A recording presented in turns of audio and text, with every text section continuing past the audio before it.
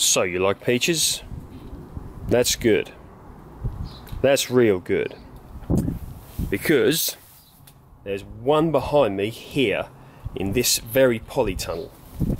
Now, if you've been following my channel for a while, you'll be well acquainted with this tree, but people are asking me questions about it, and I thought what I would do is dedicate a video solely, or solely, to this tree. Now, variety Dixired, which is a US variety, and I believe it's from Georgia, and it's a red peach with yellow flesh, and I like the flavour. It's not massively sweet, but you can taste the the peachiness, so to speak, of it, which I actually like. I don't like, you know, fruit just to be a total overly sweet thing. I really like to be able to taste the, the fruit itself. And the tree has done very well here. And we are experiencing some amazing weather here in the UK. I can't remember a period of time where which in the summer we've had such sort of an enduring summer of enduring temperatures. I mean, last year was good, but this year is particularly good. We could do with a bit more rain because we haven't had any for weeks now, but uh, you can't have everything. And the the tree behind here is absolutely lapping it up. But even last year was a very good summer, but the year before wasn't such an amazing one, and this tree produced very heavily then. So it certainly likes it. So what we're going to do is to get the camera here and pan it over the peach trees. So, if you've tried to grow peaches in the UK or similar climate, you probably ended up with peach leaf curl. Now, I'm not going to go massively into that because I spoke a lot about it, but peach leaf curl is a terrible disease. It affects peaches, nectarines, and to my understanding, almonds as well. And more often than not, it will lead to death of the tree. And what I'll do is I will link a video down below I think I titled it Horrible Peach Leaf Curl, and it showed a tree that I lost to.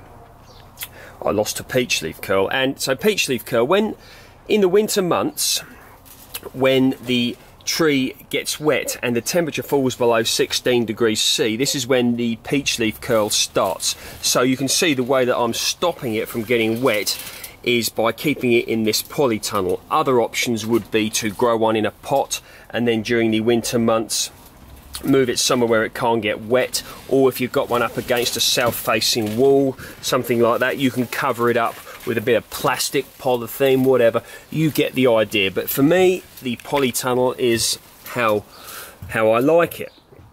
And we'll just go into the leaves here and you can see no evidence at all of peach leaf curl. Now a lot of you out there will be suffering, you personally won't, but your trees probably will be suffering from peach leaf curl and it will look very nasty and you want to try to avoid it.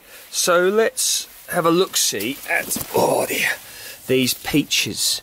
Now, you can see a great big, sorry I'm trying to get through the undergrowth here, there you go, great big cluster of peaches here. Now this tree is in fact indeed covered in peaches. Now, not as many as last year, but certainly a good amount and they're actually bigger than last year because the tree didn't set so many fruit which I quite like I mean look at that one man I mean that is look at that look that is a beautiful beautiful peach isn't it? I mean look look at it. It's lovely. And look at the colour. You know it just looks gorgeous doesn't it? So this tree came from here you go. Look. I'll let you have, let's have a bit of a read from it. So, peach Dixired, two year, oh dear, in a 10 litre pot. Dessert peach, very winter hardy, late flowering but early to fruit. Hang on. There you go, you can pause the uh, camera, the, pause it on there. Dessert peach, very winter hardy, late flowering but early to fruit, smooth, very juicy flesh, resistant to bacterial canker, self-fertile, protect from winter rainfall to control peach leaf curl. Tree height, when mature, 3 to 4 metres, Blackmoor Nursery. So of course there's no way this is going to uh, get to 3 to 4 metres in this polytunnel because I can't let it and you can see the massive amount of growth that it's put out this year. I mean, look, these green growing branches, you know, you can just see how many there are. I'm going to have to prune this, and stone fruits, you you generally prune when after the fruit has set. So what I'll probably do is leave this until next year, or I might just do some gentle pruning on it because I don't want these to, in the winter time when they go hard, I don't want the branches there. I don't want to pierce holes in the top of my polytunnel because of course that'll then cause leaks and blah de blah. We don't really want that.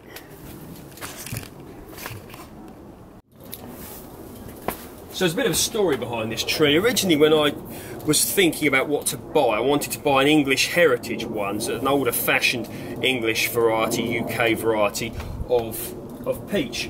But um, I went on to Blackmoor Nursery, who I respect very much for the quality of their trees. And what I did was I had a look and it was out of the time for the bare root trees because dormancy was finished and it was in sort of spring summertime I believe and um, they only had this variety, Dixired, which I'd never heard of before. You know, Rochester, Peregrine, you know, the older older varieties. But they didn't have, you know, I've never heard of this before. So what I did was I ordered one. It arrived in a pot very promptly, nicely presented. And as I stated before, probably, I'm going to link some videos down below. You can have a look through there. And I grew this first in a pot. And it had a few little peaches on it which had fell off into the box when it arrived. You'll see them on the video. And then I put it in this pot with the growing medium. And the following year, blimey, I was surprised at just how much, how many peaches came off of it. And ever since then, it's just been an amazing tree, which I've been very fond with. And a few years ago, or last year, early, early-ish last year, I moved it and put it in the ground here in the polytunnel. So we'll take the camera and I'll show you what it looks like in the ground and I'm going to be uh, organising this polytunnel a lot uh, lot better than this but uh, you just bear with me for the time being. Yeah I mean you can see look just here that was the the root ball. I put it in there. And look at these roots it's putting out it's put out. I mean you really can. And um, I believe please don't uh, quote me on this. I believe it was grafted onto Gisela 5, which is like a medium vigour. I've got to cut this off, these here, because these are growing from the rootstock. But um, yeah, you know, certainly a good, another peach there. What I want to try and do is find one that's ready. There you go. It's got a little one on it there, look. I want to try and find one that's ready-ish and pick it so that you can actually see. Now, they're not all quite there yet, but uh, there you go. Let's have that one. There you go. Not the best example because it's got a bit of a, you know, what do you call it, rot there, but never mind. We'll pick another one. Now look at that. What a great peach. Mm. So that's what it looks like. I won't um, chew too much because I don't think people appreciate the, um, what would one call it, the food consumption chewing sounds on the on the camera. But yeah, so look at that. That's what you get.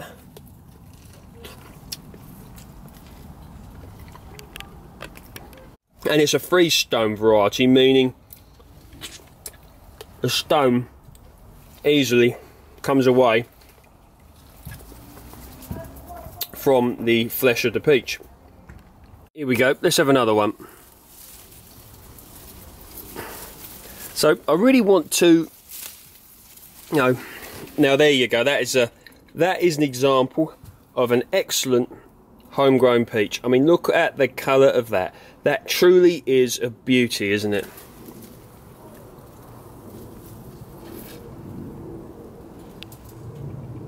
Look at that. You could paint a picture of that, couldn't you?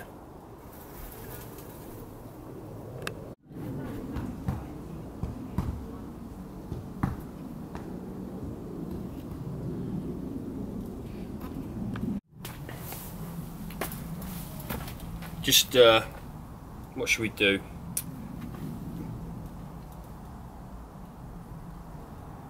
For the thumbnail. So yeah, with regards to peaches, there are other ways that, uh, you know, I did try to defy peach leaf curl and set one outside. If you look at the video down below, you'll see. But it got peach leaf curl, and that was variety Avalon Pride, which was allegedly meant to be the um, the most resistant variety to peach leaf curl. Well, I grew mine outside as a, that tree as a freestanding tree, and I can tell you what, and you'll see by the video, it really was anything. Certainly, the resistance was not. Uh, the resistance was futile in the case of uh, that that particular tree, so had to uh, dig that up and discard of it. But um, I personally, you know, unless you're going to get into the world of applying fungicides, I mean, they say you can apply Bordeaux mixture and copper sulfate, blah blah blah. You get the idea at certain times of the year to avoid it, but I personally wouldn't bother just sticking a peach tree outside. Certainly, as a hobbyist, I'd find a way of you know, making sure it doesn't get wet during the winter months. And I think for me, really, the lowest maintenance is simply get one and stick it in a polytunnel. You know, if you've got the room, well, you could even have it in a pot in a polytunnel. You know, you just don't want you don't want to risk throwing your investment down the drain for your tree.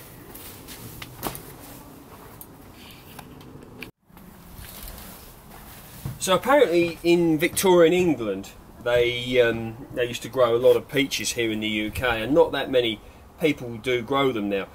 In Victorian England, a lot of people grew them in greenhouses, obviously not in polytunnels because I don't think plastic was around.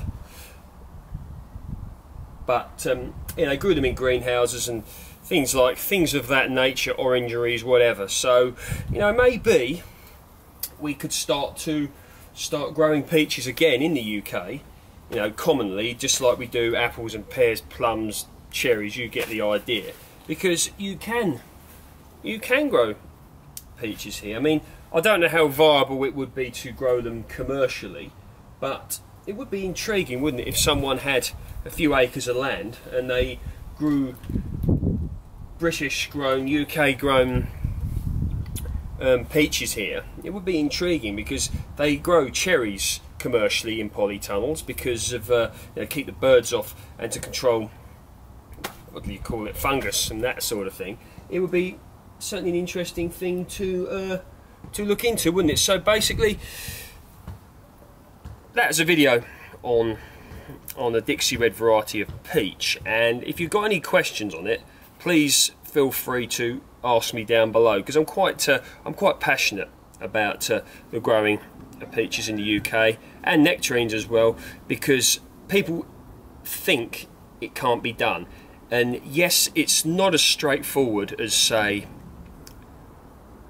plums or apples and a certain degree of research and you know a bit more effort maybe has to be employed but it certainly is possible and you know unless of course you're a peach you know peaches and nectarines are your 100% your favorite fruit if you're just going to grow one tree, it might not be wise to just have peaches. You know, you might want to get your bases covered with a few of the more commonly grown fruits first. But, you know, if you fancy having a go at something a little bit exotic, you can grow peaches and nectarines here in the UK as long as you stop them getting wet in the winter months, yes? And my advice to you out there, if you're going to have a go at doing it, grow them in a polytunnel.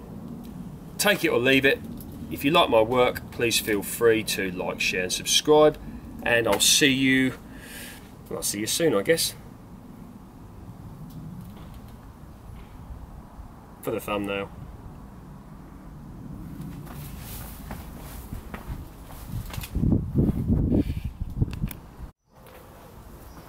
Yeah, so um, just matter of interest, I uh, plugged in Prunus persica, which is the Latin name for for peach onto the internet. And intriguingly stuff, it states, here we go.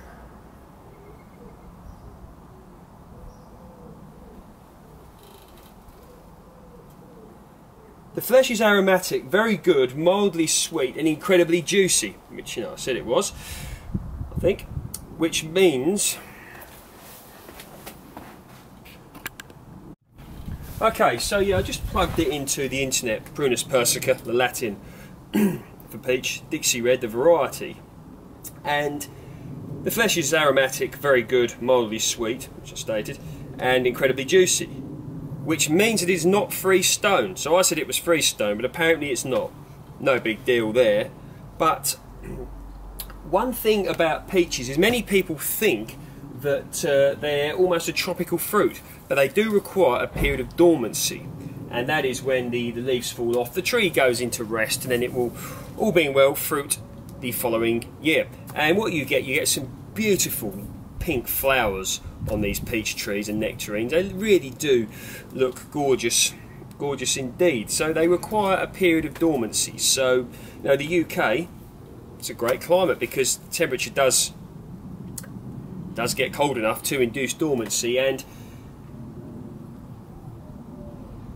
peach peach trees are generally hardy to around minus 20 degrees C there or thereabouts so generally in the UK we don't get winters you know much I certainly in my uh, I think in my 33 years I don't think I've had a winter you know colder than colder than that or near that so there you go so great tree that was a little sort of postscript note there.